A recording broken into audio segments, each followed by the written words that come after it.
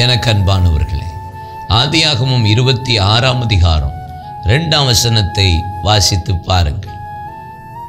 கத்தர் அவனுக்கு தரிசனமாகி ஈசாக்குக்கு நீ எகிப்துக்கு போகாமல் நான் உனக்கு சொல்லும் தேசத்திலேயே குடியிரு. ஆபிரகாம போன்னு சொன்னவ ஈசாக்கை பார்த்து சொல்றாரு பஞ்சம் எப்பக்கத்திலும் பஞ்சம் தேசமே வறட்சியான சூழ்நிலை ஆசீர்வாதம் ஆகாரம் இல்லை.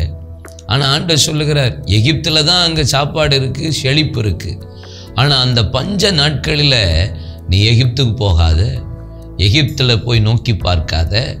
இங்கே இரு இது பஞ்சமாக இருந்தாலும் பரவாயில்ல அது வறட்சியாக இருந்தாலும் பரவாயில்ல சூழ்நிலை உனக்கு சாதகமாக இல்லாட்டாலும் பரவாயில்ல எகிப்துக்கு போகாத. ஆபிரகாம புறப்பட்டு போன்னு சொன்னவ ஈசாக்க எகிப்துக்கு போகாதங்கிறார். இங்கே இரு அப்படிங்கிறார். எதுக்கு? நான் ஒன்று ஆசீர்வதிப்பேன். நீங்கள் உலகத்தை பார்க்காதீங்க. உங்கள் சூழ்நிலைகள் ஒருவேளை வறட்சியாக இருக்கலாம்.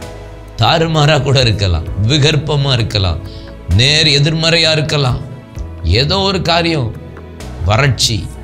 ஆனால் வேதம் சொல்லுகிறது எகிப்துக்கு போகாமல் உலகத்தை பார்க்காம அந்த செழிப்பை இதுதான் ஆசீர்வாதம்னு நினைக்காம கத்தர் வார்த்தைக்கு கீழ்ப்படிந்து எகிப்துக்கு போகாமல் கத்தர் சொன்ன தேசத்தில் இருந்தபோது நூறு மடங்கு பலனை பெற்று வர வர விருத்தி அடைந்து மகா பெரியவனானான்.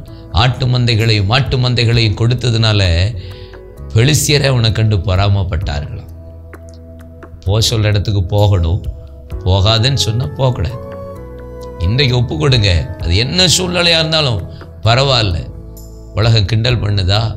பரவாயில்ல. ஒப்பு கொடுங்க கத்தர் உங்களை ஆசீர்வதிப்பார். தகப்பனே எங்கள் ஜீவியத்தில் நாங்கள் போகாதே என்று சொன்ன பகுதிக்கு போய் நாங்கள் ஆசீர்வாதத்தை இழந்திருக்கிறோம் இன்றைக்கு நாங்கள் எகிப்தை செழிப்பை உலக ஆசீர்வாதத்தை பார்க்காம கத்த சொல்லுகிற இடத்துல இருப்போமானால் எங்களுக்கு ஒரு பெரிய மேன்மை ஆசீர்வாதம்.